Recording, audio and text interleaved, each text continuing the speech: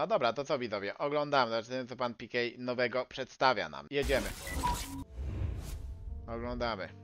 Teraz ukarany jem kolonii, no. Ukarany. Żółta kartka Faza widzowie. grupowa IEMA w Kolonii oficjalnie dobiegła końca, ale No. cóż to była za końcówka. Ten mecz Face z Liquid zdecydowanie przejdzie No, do historii. Counter-Strike'u, zrobiło chyba najlepszy comeback w tej najnowszej wersji CSA. Liquid prowadziło 11-1 No. i nikt nie spodziewał się, że Face może coś jeszcze w tej sytuacji zrobić. Oni jednak po drugiej stronie również zrobili wynik 11-1 i dobili formację Liquid Nawet Piotrek, nawet Piotrek w napisał dogrywce, najlepszy comeback w historii ostatecznie CS2. 16 do 13. Ale mieliśmy taki comeback, Vitality k- kontra Face i Face wygrywał chyba 11 do 1 na Anubisie i przejęli mecz. Był w CS2 taki comeback już jeden, ale ten o wiele lepszy jest, o wiele lepszy. był. Tym samym Ultimate i spółka musieli obejść się smakiem. Nasz polski No. snajper ostatecznie zakończył turniej z ratingiem 1.30, co klasyfikuje go na najwyższym miejscu przy rankingu graczy, którzy już Mhm. odpadli z tych zawodów. Do statystyk i dalszych Ale wydaje mi się w ogóle, widzowie, że taki kubeł zimnej wody właśnie jest spuszczony na Ultimate'a i dobrze, że takie coś się wydarzyło, bo będzie mógł to przeżyć taką przegraną na takim poziomie w tym momencie, nie? Nie w dalszym. Lepiej teraz niż na przykład na Majorze, jeśli będą grali. Więc uważam, że też go dużo to nauczy, też Liquid trochę to nauczy na pewno, więc y, chłopacy, wydaje mi się, overall mogą wrócić mocniejsi, ale miejmy nadzieję, że się nie podłamią, bo może to pójść w drugą stronę też, nie?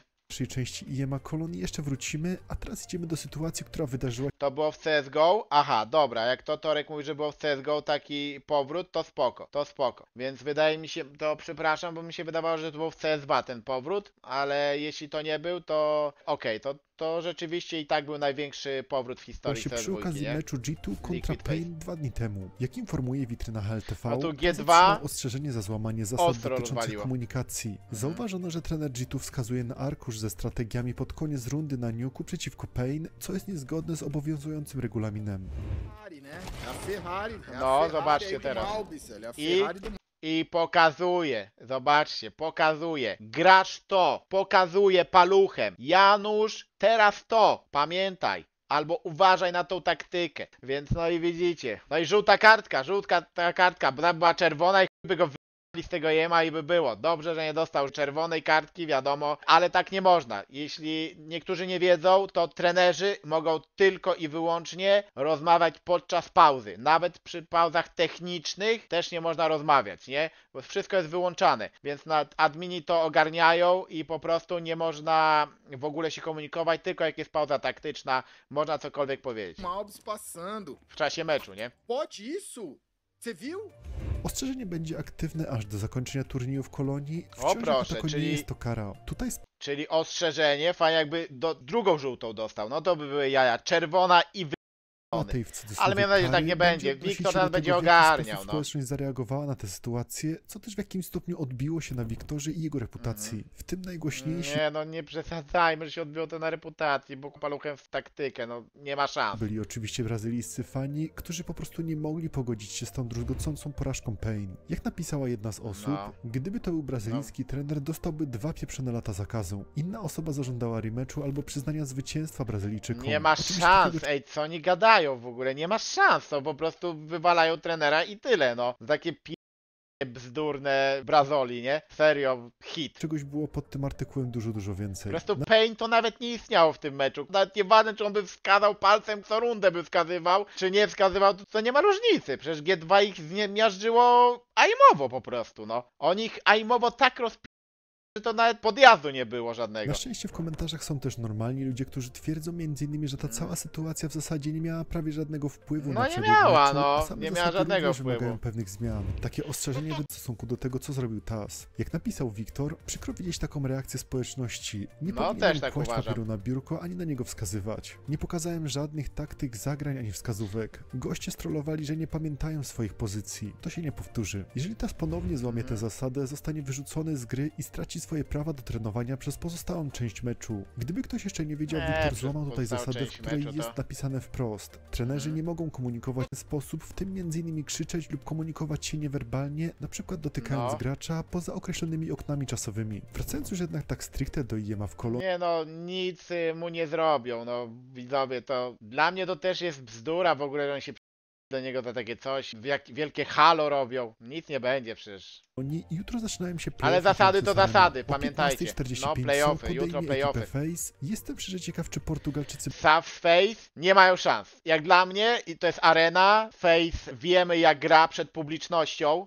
Oni wtedy odżywają. Właśnie oni w grupach grają nie zawsze dobrze, nie? Właśnie w grupie, tam poza sceną, to grają w kratkę, ale jak wyjdą już na tą scenę, no to Face potrafi grać, nie? Oni potrafią grać dwa razy lepiej, więc uważam, że SAF przed taką publicznością wierzę w chłopaków też, ale nie dadzą rady na Face. Nie dadzą rady jak dla mnie. będą w stanie sprawić sensację również Chyba, w że- fazie pucharowej. chyba, że 19 będzie niespodzianka. Snacksem zagra przeciwko Maus, gdzie iglem jest nasz polski zawodnik Siuchy. Będą to dwa ciekawe mecze Czyli Polak na Polaka gra. Siuchy, mój wychowanek, na Janusza. Ja wam powiem tak, Siuchy, czy da radę w Lanxess Arenie? No, wydaje mi się, że Maus na taki zespół jak G2, no nie da rady wygrać. No nie wiem czemu, ale jakoś, no G2 też dobrze gra przed publicznością, nie? Ma Snacksa, który Janusz, no potrafi, lubi grać przed publicznością, robi takie rzeczy, że no fajnie się to ogląda. Hunter, Nico, Monesi, którzy grali przed takimi publicznościami bardzo często i dobrze grali. No Malps nie grał tak za bardzo, ale wydaje mi się, że to nie będzie przeszkoda. Maus będzie miał bardzo ciężki mecz, ale G2 jest tak rozpędzone, że raczej nie dadzą rady, no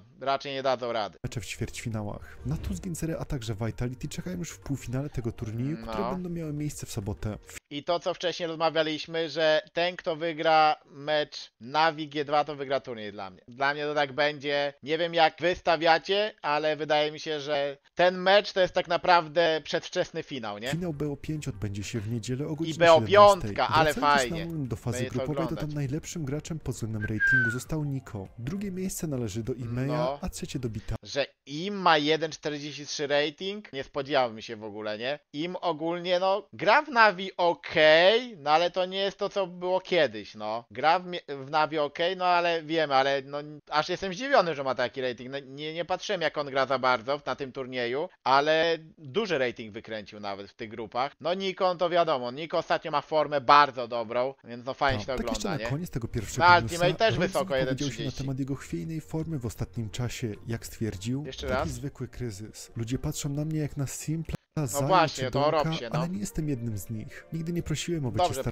no. Jestem gościem, który ma być stabilny dla zespołu i ma zapewniać spójność, Mhm. kiedy trzeba. O wszystkim na bieżąco oczywiście informujemy na naszym Discordzie. Link stan No, uważam, że Robs dobrze powiedział. No słuchajcie, on też nigdy tak się nie wywyższał. To spokojny gość jest, który po prostu robił swoje. Nigdy nie robił też jakichś takich akcji jak Simple czy coś, jakichś takich widowiskowych. On po prostu zabija tyle, ile miał zabijać i tyle. Więc wydaje mi się, że fajnie odpowiedział, żeby też ludzie z niego też próbują robić jakiegoś, tak jak wcześniej powiedział, Simpla czy Zywo, tak? Kto waszym zdaniem wygra IM Kolon 2024? No właśnie, widzowie, kto waszym zdaniem wygra IM Cologne 2024? Jak myślicie? G2, Vitality, Face, o tu widzę rozbieżność. Dla mnie wygra Navi albo G2, dwa zespoły, bo się będą mierzyły w półfinale, ta albo ta wygra, ten albo ten zespół, więc no wątpię, żeby Vitality wygrało, chociaż dawno nie wygrali, ale raczej nie są na takim poziomie teraz, żeby wygrali turniej, nie? Valve się za SnapTapa i są te poprawki Waku, no jestem ciekaw, istotne Ostatnio miała poprawki. miejsce kolejna aktualizacja Ja przetestuję widzowie, jak następnym razem będziemy odpalę streama, przetestuję premier. Zobaczymy, czy istotne poprawki w waku coś dają. do Counter-Strike'a 2, która co ciekawe, uwaga, nie zepsuła jeszcze niczego, a przynajmniej tak to wygląda obecnie w trakcie jak my tworzymy ten materiał. Poza wrzuceniem No. najnowszych wersji map społeczności Dobra, słuchajcie, to jest najlepsza rzecz. Widzowie, oni napisali, że naprawili boosty, nie? CS2. Chuj naprawili. Dalej jest ten bug boost, że jak się boostujesz, to dryfujesz na głowie i to nie jest naprawione. A jest było napisane, że naprawili. I ja nie wiem, serio, nie potrafię tego zrozumieć, czemu tak tyle czasu to trwa. czyli Mills, a także Pool Day, dostaliśmy też naprawy wielu błędów, Mhm. które wreszcie mogą w pozytywny sposób wpłynąć na No, ogólne wrażenia z gameplayu. Jedno może z najważniejszych, wpłynąć, no. pamiętacie te w cudzysłowie legalne No to w tak. Teraz zostało to załatane. Jak napisano No, w super. patchnocie, naprawiono przypadek, w którym gracze mogli rozpocząć animację podkładania bomby poza Ekstra, no bombsite'ami. to powinni naprawić w ciągu jednego dnia, no ale zajęło to dwa Już w tygodnie. zakończyła się wyprzedaż naklejek z Majora w Kopenhadze. Przypominam, że mamy No. sierpnie, a ten turniej był w marcu. No ale cóż, lepiej późno niż wcale. Kolejna bardzo ważna kwestia. Nie Dopiero teraz zakończyła się sprzedaż naklejek, widzowie, i ten cały hajs, co nawet teraz cały czas ludzie kupowali, idzie dla zawodników. Wy sobie nie wyobrażacie, zawodnik po 800 koła dolców, po 800 koła, e, może nie dolców, ale po 800 koła złotych wydaje mi się na web, albo milion, lekko, lekko. Co u mnie, jak ja byłem na Majorze, to w czasie trwania Majora tydzień i już wypie naklejki. Tutaj ponad w marcu był 5 miesięcy. U mnie po tygodniu już naklejek nie było, nie? Dlatego tak o wiele mniej też się zarabiało. Znacznie opóźniono efekt tagowania, aby zmniejszyć liczbę przypadków, w których To jeszcze raz. to że mamy sierpnie, a ten turniej był w marcu. No ale cóż, lepiej późno niż wcale. Kolejna To, to jest ważne,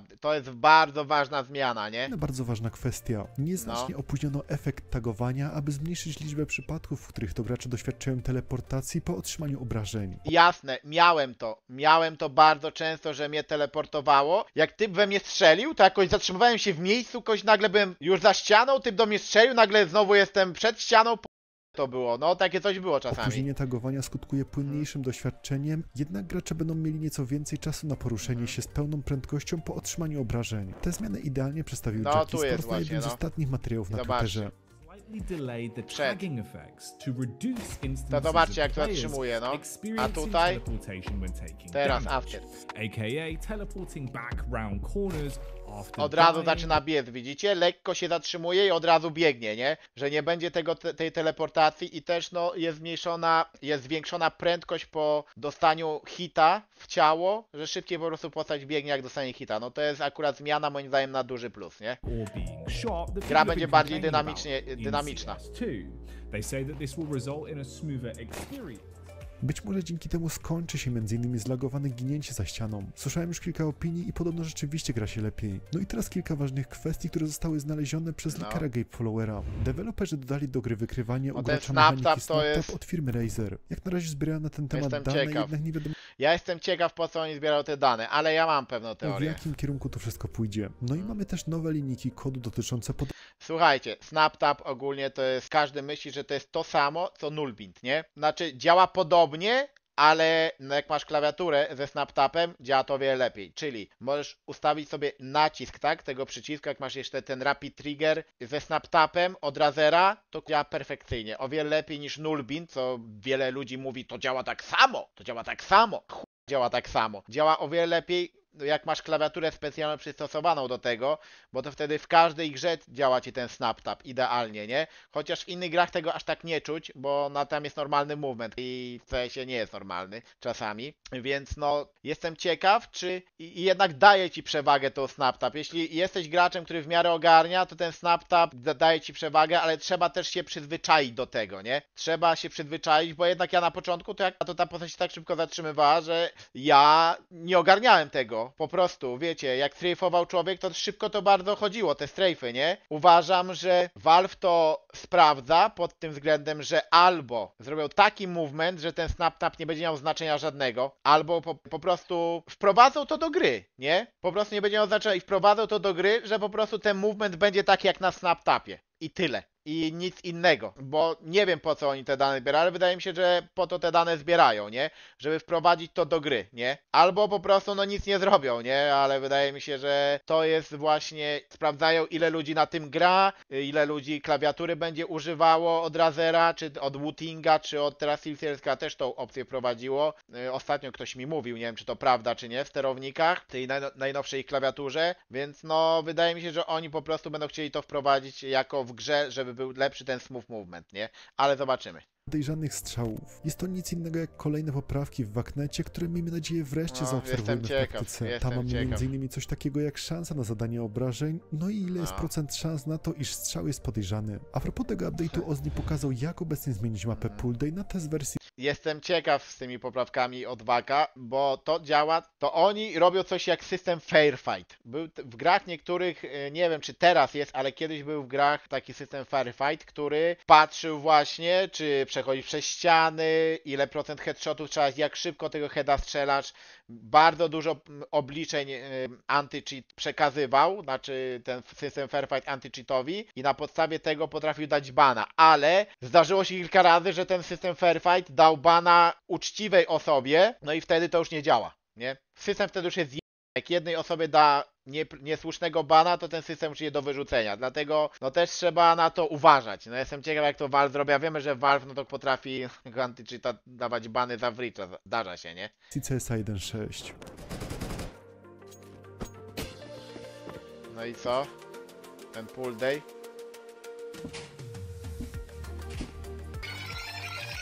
No. Ja Zmieniamy już jednak temat. mają rozmach ku... Naprawdę. Wszyscy grają teraz na tym. Naprawdę. Decha pokazał miejsce, w którym Monte przebywa obecnie na bootcampie. Mamy już nawet z niego filmik i próbkę możliwości No, demku mówiącego po polsku. No to widziałem, no. Ty! Ale zobaczcie jak- jaki to jest dycha, nie? Tutaj. To jest dycha, widzowie? Jaki byk! Zobaczcie jaki on jest wielki! Ja myślałem, że mam wielki łeb jak Sagan. Tu jest naprawdę ostro. Jaki misiek! Szybka gra, szybka gra, panowie. Nic oni nie mogą zrobić. Rozumiesz? Tam tego pana się nie. No jak nie, to pierdolę. A propos tego zespołu, jak twierdzi polska szuflada, Monte podobno trenowało z Kejem od samego początku. Styko został zatrzymany w składzie tylko ze względu na punkty w rankingu. O tej kwestii Słowak wiedział najpewniej od samego początku tej formacji. Monte to jest od samego początku. Ale ja wam mów... wi- widzowie, pamiętacie jak dałem tweeta? Że i też, że coś wiem na Discordzie, że Kay w Monte będzie. No, ja wiedziałem, że on będzie, no, widzowie. No, ja wiedziałem już wcześniej, że takie coś będzie, nie? Przechodzimy teraz płynnie do pierwszej tury otwartych kwalifikacji. Mieliśmy sporo zespołów z polskimi akcentami. ENS, Emeritus Bożydara, Banditos, Monte, był Rebels, Emeritus Banditos, Betclick, a Apogee jak? Sports, Anonymo, Widzę do Permita trzech, czy też. Molitiem. Trafiliśmy na takich gości, że no, nie dał rady wygrać. Za mocni byli. ostateczności do Na drugiego Rusków. dnia eliminacji udało się dojść jedynie drużynie Rebels. Poznaliśmy Ale w zamkniętych dzisiaj też oglądaliśmy, dostali od. Fnatic. Tak prezentuje się grupa A, a tak wyglądają zestawienia drużyn w B. Jeśli chodzi o tę Znaczy ja uważam, że grupy są w miarę równe, nie? Dużo ludzi mówi, że jedna jest lepsza od drugiej, ja uważam, że są w miarę równe te grupy, naprawdę. pierwszą, ENS zagra z Koi, a Monte spróbuje A właśnie, tego nie widziałem. Te, dobra, a pamiętajmy, że 21 ja komentuję w- meczyki, nie? Więc od 21 do 24 jesteśmy na streamie, pewnie od rana do nocy, wydaje mi się. Ale teraz popatrzmy. Ens gra na Koi. Te Koi nie jest jakoś mocne teraz, więc wydaje mi się, że Ens raczej powinno walnąć ten pierwszy mecz. Sangal na one win. Sangal raczej wygra. Blit na TSM. Te TSM nawet nieźle zaczęło grać. Raczej bym na TSM spróbował postawić. Bait na Sinners. No to jest raczej jedna i druga, jedna i druga drużyna jest średnia, nie? Ten mecz sam nie wiem kto by tu wygrał. Gamer Legion na Ryno, no to na Gamer Legion, wiadomo. Ryno nie jest jakieś mocne. BC Game na Eslon, no to na BC Game. Ten y, skład nawet, to tam haksała ten Joel, no to i tak jest mocny, bez, ne- bez niego. Parivision na Enterprise, bym stawiał na Parivision, bo jednak Enterprise no gra średnio, no średni na drużyna to jest w tym momencie. Monte na Unity, no, no stawiam na Monte. Wydaje mi się, że Monte da radę, nie? Z Kejem nawet da radę. Unity. W tym wszystkim mamy też Enterprise, Chociaż y, no Monte nie poszło w tych kwalifikacjach teraz do IM Rio, a wygrywali 11-2 i typy comeback zrobiły i to też jakieś randomy totalne, na przykład nikogo nie znałem. Ja pytałem Exusa czy kogoś zna, no bo to typy z premek są, nie? Jakieś z Faceitów, to Exus gra po 20 dziennie potrafi grać i on powiedział, że nie wie kto to jest, nie? Czy jutro gramy kwalifikacje do Atlanty? Nie gramy, bo nie ma Izaka, nie ma chłopaków. który zmierzy się z Parivision. Natomiast w grupie B Rebels zagra z Dobra, druga- Permit Druga grupa. Big Passions. No wydaje mi się, że Big wygra. No już nie przesadzajmy, że nie dadzą rady. Speed Cloud9. Ten Cloud9 też nie wiem jaki oni skład wystawią. Tam młyn taki jest, że nikt nie wie. Oni niby przyjęli te, wiecie, te zaproszenie. Sam nie wiem jaki skład, ale bym stawiał na Speed raczej, bo no Chłowacy ostatnio są w gazie. SAF OG na SAF. Wątpię, żeby OG dał radę na nich. Nemiga Arkred. Na Arkred bym stawiał, bo też nieźli są chłopacy. Z10, no wiadomo, Nemania tam gra widzowie. Gra tam Nemania, najlepszy lurker z Facey, tak bez ścian. Więc no, widzowie, jak byście stawiali? Sam jestem ciekaw. Z10 chyba, nie? Z10 Rebels mówicie?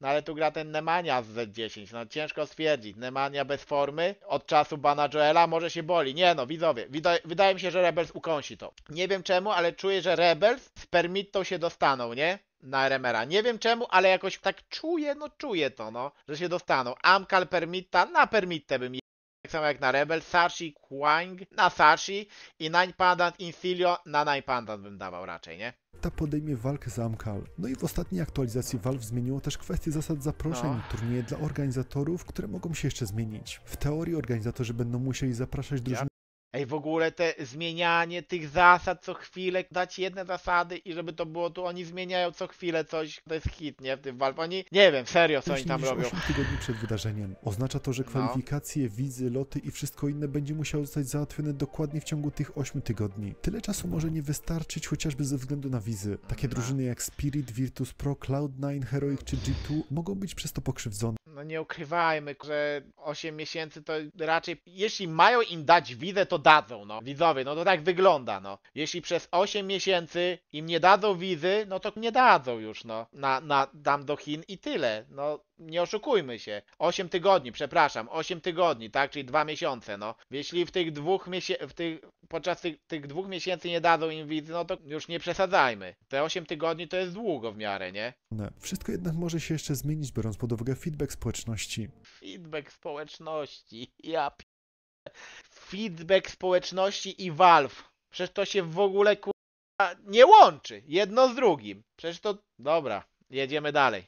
Strefa transferowa. Metisport podpisało 23-letniego gracza Lumiego No. w puste miejsce pod Jakinią. Ich były już kapitan poinformował, że nie przedłuży kontraktu, który wygasa pod koniec No. sierpnia i Nie znam w ogóle tego Lumiego, nie znam. dlatego też zaczęto szukać kogoś w jego miejsce bardziej na stałe. Mhm. Lumi to były zawodnik Lil Mix czy też Lemon Dogs, jednak wciąż jest stosunkowo nowym graczem na scenie. No, nie znam Dzięki go w ogóle. Plopski został nowym liderem Metisport, nigdy wcześniej nie próbował swoich sił w tej roli, więc będzie to dla niego duże wyzwanie. Plotki dotyczące Ale Plopski to też, zobaczcie, gościu ogólnie był tak dobry, grał w Nipie przecież, nie? Plopski. No grał w dobrych drużynach i wylądował w Matis Sports. byłego zawodnika Furii Kie oficjalnie się Kie, potwierdziły. Boże. Brazylijczyk zostanie nowym graczem Fluxo i Jestem ciekaw, jak będzie grał się tam, nie? informacja. 14 sierpnia zagrali już dwie mapy z nim w składzie przeciwko drużynie Solid, jednak zarówno Vertigo, jak i Mirage nie poszły po myśli Fluxo.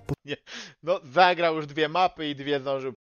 No, słabe wejście. Potwierdza się również kolejny przeciek, o którym informowaliśmy jakiś czas wcześniej. Holmes oficjalnie zastąpi Froga na pozycji trenera w formacji Endpoint. No. Organizacja nie była zadowolona z Holmes, wyników, no zwłaszcza, że jestem nie ciekaw. dostali się nawet do zamkniętych kwalifikacji RMR. Dla Nie no, to ogólnie ten skład Endpoint jest chuj. Ten Mighty Max jest botem, tak naprawdę. Ten Surreal to tyle lat gra w tego CS-a już. Nie wiem, Azuwu, no scena UK, no.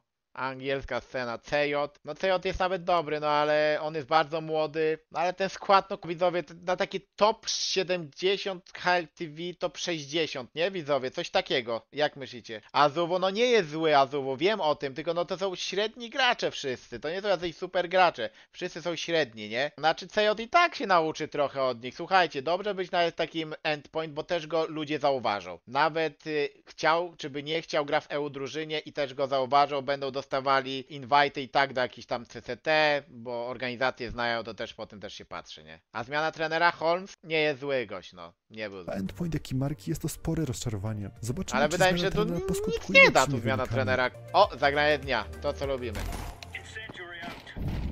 Nox. O k***i hedzi. Bardzo eko, eko fragi.